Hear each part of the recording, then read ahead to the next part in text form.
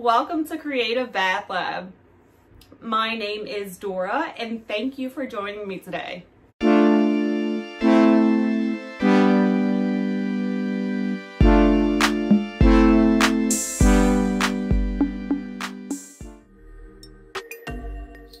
Today, I'm showing you how to make this gorgeous liquid bubble bath and the packaging. I've been wanting to do this for a while now and I've formulated the perfect recipe. It's super easy and it's amazing at making bubbles. Stick around until the end where you'll be blown away at the results. To make liquid bubble bath, all you really need is distilled water and a bubble bath maker. For a list of bubble bath makers, click the icon.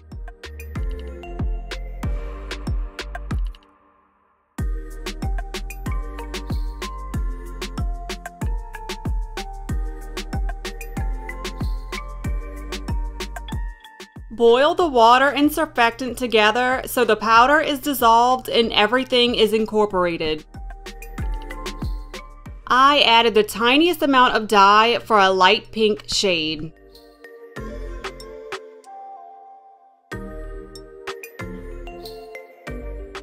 After boiling it for about 5 minutes, take it off and weigh the mixture. It'll probably be under 10 ounces, Add more water and bring it up to 12.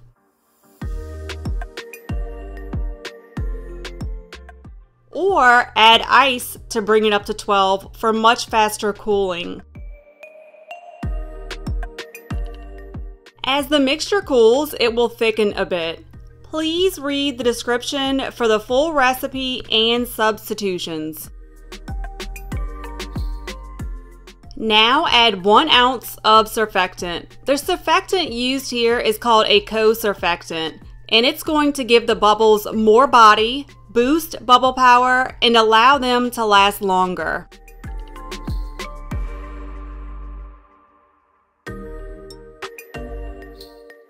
Make sure the mixture is cooled below 100 degrees Fahrenheit to add fragrance and a preservative. I use Magnolia Blush because I'm currently addicted to it, but check out the liquid. Now it's thin and it has a milky white tint. If the bubble bath is really thin, you can add table salt a little bit at a time to thicken it up a bit. But remember that liquid bubble bath is supposed to be thin.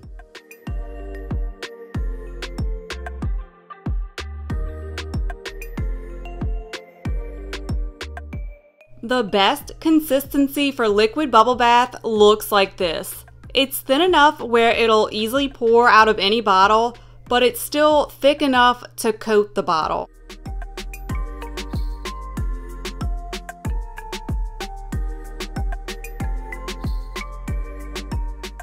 I searched on Amazon forever for the perfect bottles and then I found these.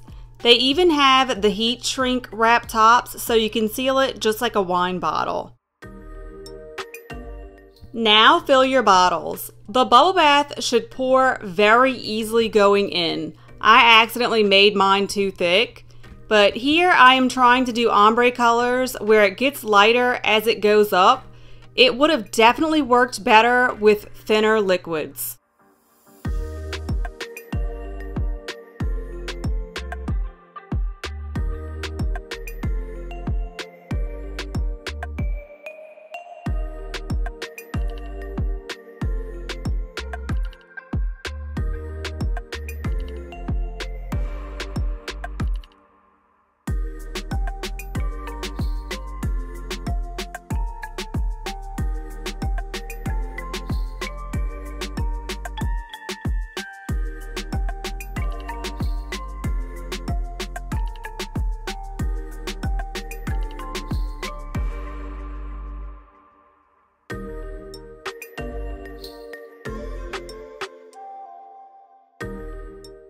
Once the bottles are clean, add labels. I made a 3x2 label for the belly and a 1x2 label for the neck.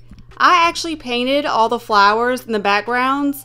I made these labels with my laser printer and waterproof paper. Click the icon for the label tutorial.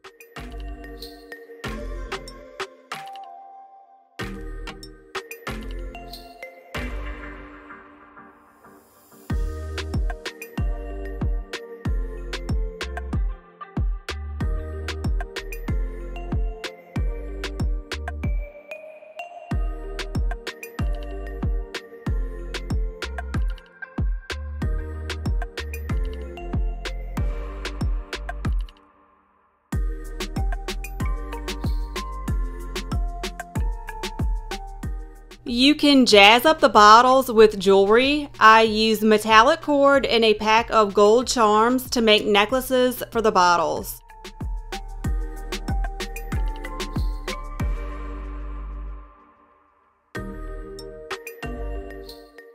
Tassels add charm and finish the look. I made wider multicolored tassels by tying several of them together.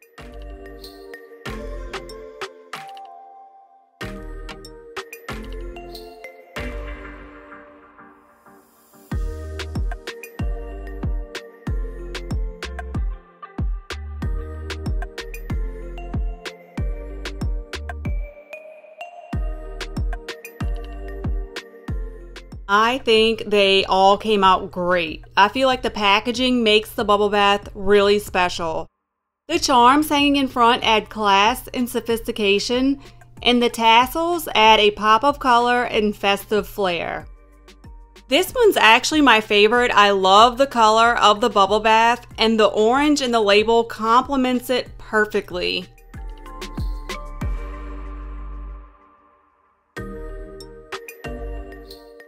I don't recommend adding different colors together because there's a good chance they'll eventually merge together.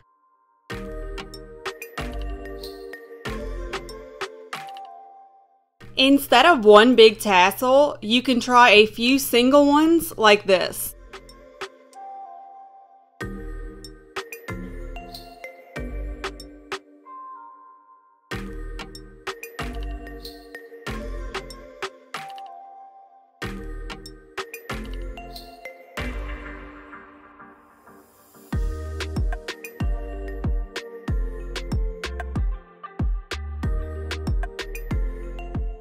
Wow. Like, really and truly, just wow.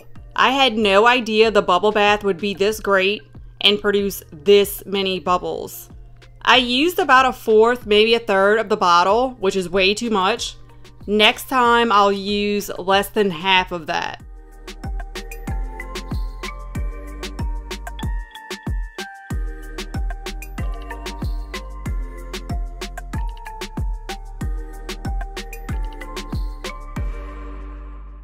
Thanks for joining me. All the supplies will be linked in the description along with tips, tricks, notes, the recipe, and substitutions.